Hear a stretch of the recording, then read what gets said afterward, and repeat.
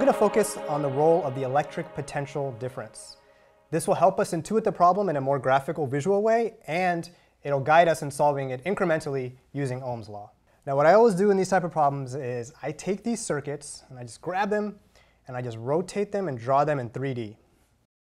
So what we have here is a flattened version of this circuit diagram looking at it from the side. What we're going to plot is the potential at each point in the circuit diagram in the upward direction. We're going to start always at the negative terminal of the battery, which is going to be, we'll just place it at right where the level is of the circuit, so right at zero here. And then at the battery, it's going to increase by as many volts as the battery is. So I'm just going to make a really big jump here at the battery. Okay, and across each wire, the voltage will not change. Voltages or potentials do not change across wires, so I'm just going to draw it straight there. In other words, the height of this is the same as we walk around across the wires. Now when we get to resistors, the potential will drop a little bit. Again, along the wires, the potential is not changing, so when I go along this wire, I need to have the same height on this vertical wall here. Okay, now here, let's, let's just think about this for a moment. Eventually, this potential has to get back down to zero over here. And we know that it can't change along this wire. Here, the potential has to be the, the same along the wire here. So certainly across this, it's got to drop back down all the way to zero here. However, on this part of the loop, it has to drop some along that resistor and some along that resistor. So we can't drop it all to zero here. We have to incrementally go down. Now what this diagram makes clear is that, first of all, the voltage is not something that flows or moves. It's a property of the circuit diagram at each point. And then the second thing it makes clear is that uh, you can determine which way the current is flowing by just imagining the current as a ball rolling down these ramps. So anytime you go um, you know, across a resistor, you, the current flows in the direction that the ramp decreases. The only place where it goes up the ramp is at the battery because the battery is pushing the current up the potential using chemical forces. The first question says we want to rank the potentials in the circuit diagram at all the points A through G. Now, our voltage map pretty much just makes this entirely clear for us where the voltage is highest or where the potential is highest and where it's lowest. It's, of course, the highest right after the battery, so G is a point of the highest potential. It drops a little bit at D, so we know we're going to get down to D a little bit later right here. Um, in addition, it doesn't drop at all from B to C. So D, C, and B all have the same potential. They're the same height in these orange lines here.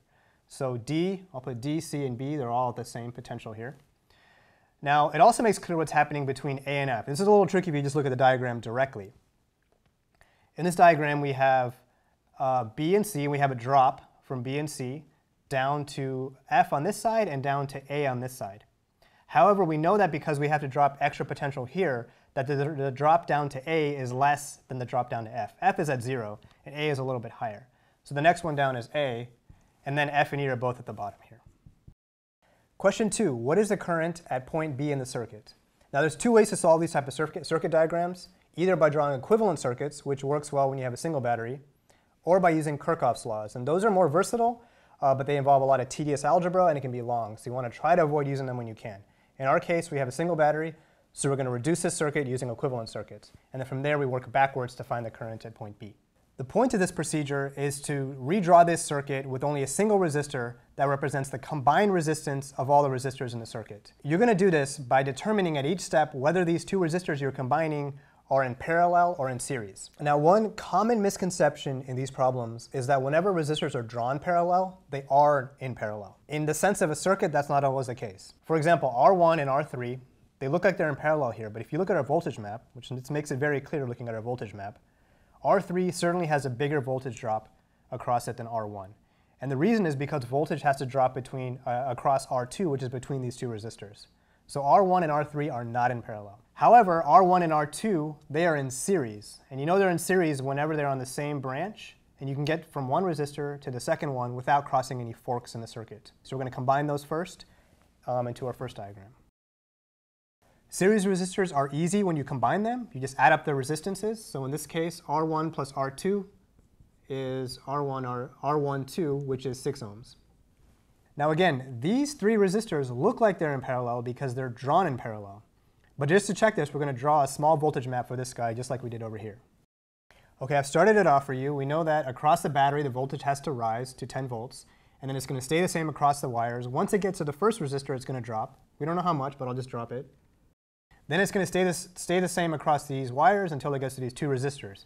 Now, on the other side of these two resistors, they both have to uh, meet up to zero volts over here, where the negative end of the battery is. So we know that they have to make up the full difference. These guys both have to drop down to zero. Now looking at this voltage map, we see two things. First of all, R12 and R3 had the same voltage drop across them. They started at the same potential and both ended up at zero.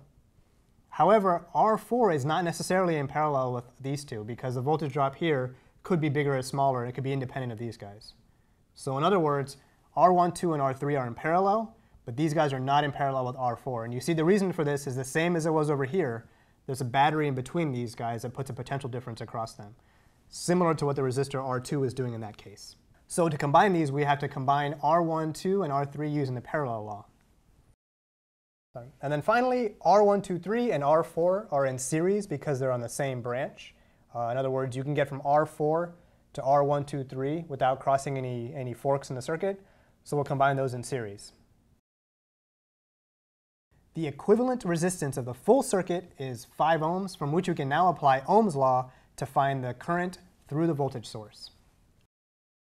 So now that we have the current through the battery, we're going to go backwards to find the current at point B using Ohm's law and our voltage maps. So we know that the current in the battery is 2 amps. Since this, since this is a single loop and there's no forking, you're not forking off in other branches, then the current everywhere in the circuit is 2 amps. So the, in particular, the current is 2 amps through that resistor 4, which if we use Ohm's law, we can then use to find the potential drop across that resistor. All right, so the potential drop across resistor 4 is 6 volts. And the nice thing about our voltage map is we can actually use this quantity to immediately find out what the voltage uh, drop is across another resistor. We have a 10 volt difference here, so the battery is 10 volts, okay? So you're at 10 volts here, and then at that resistor you drop by 6 volts. This is resistor 4. So you drop from 10, you drop by 6 volts down to 4. So now you're at 4 volts over here, and you know that you have to get back down to 0 across that resistor. So across resistor 3, certainly the voltage drop has to be 4 volts because you're going from 4 down to 0. So that immediately tells us that um, the voltage across resistor 3 is 4 volts.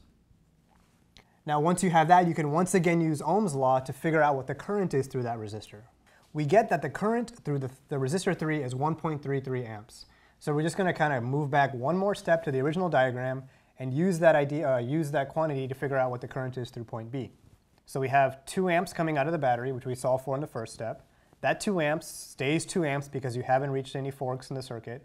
Once you get to right here, the current has to fork into these two branches. Through resistor 3, it's 1.33 amps, so the remainder of the incoming 2 amps has to go through resistor uh, through this branch over here. In other words, uh, 2 amps minus the 1.33 is 0.67 amps through point B. Okay, now for the last question, it says, what is a voltage drop across resistor 1? And we can basically solve that immediately. We know that the current going through this branch is 0.67 amps. Now the current going through here, of course, doesn't change because you're not crossing any forks in the circuit. So 0.67 amps, 0.67 amps, 0.67 amps through R1. We can solve using Ohm's law in one step to find the voltage drop across that resistor. So the answer to the final question is the voltage drop across resistor 1 is 2.67 volts. Okay, so we're going to end there. I just want to leave you guys with one last thought. Whenever you get these kind of problems with a single battery, always draw the voltage map first. It'll help you intuit and graphically guide you as you're working through the problem.